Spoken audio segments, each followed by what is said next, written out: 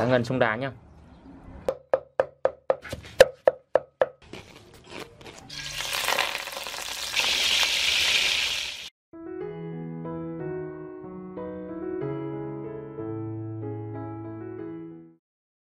Chào mọi người nhá. Hôm nay mình sẽ làm một cái món mới vừa kiếm được ít nguyên liệu đặc sản của sông Đà Cho mọi người xem đặc sản nha Cái này cá này khá là hiếm Đây là người ta gọi là cá ngần. Cá này gọi là hay còn gọi là cá tàng hình. Chỗ mình ngày xưa nó hay có nhưng giờ nó hết rồi. Cá ngần nhá. Bình thường thì nó lúc đây nó chết rồi thì nó đục đục này thôi Nhưng mà khi nó sống ấy, nó trong veo Ở dính nước trong veo không thể nhìn thấy được luôn. Nhưng người ta gọi là cá tàng hình.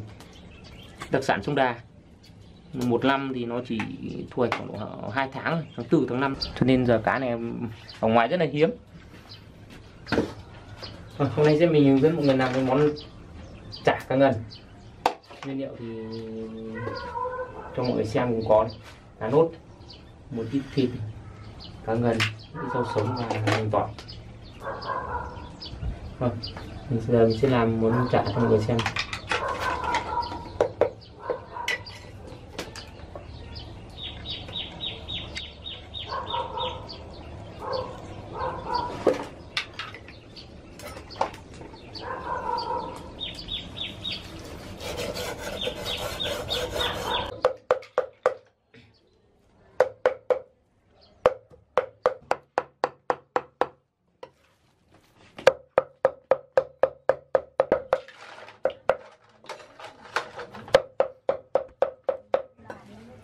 Okay.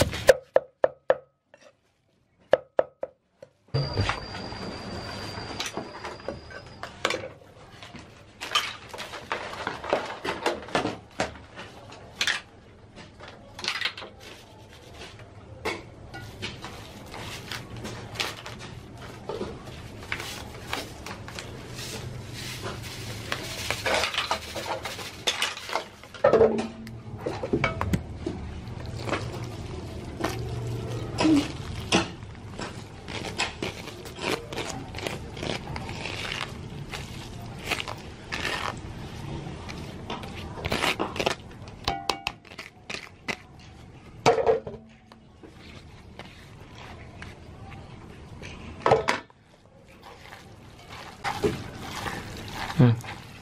Trộn đều nguyên liệu lên trong lát nó cuốn lá nốt ừ, dán là ừ, xong nhá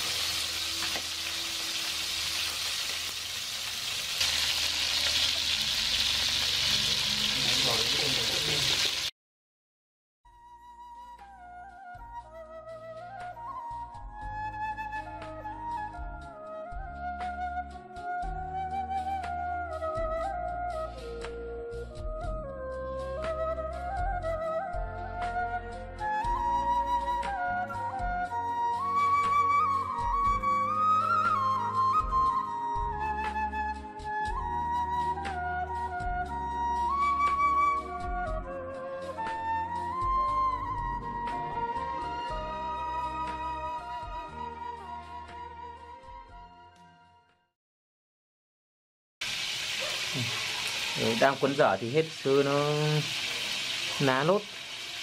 Ra sang nặn viên để dán chay xem. Nó có thơm ngon bằng à, cuốn lá nốt không nhé?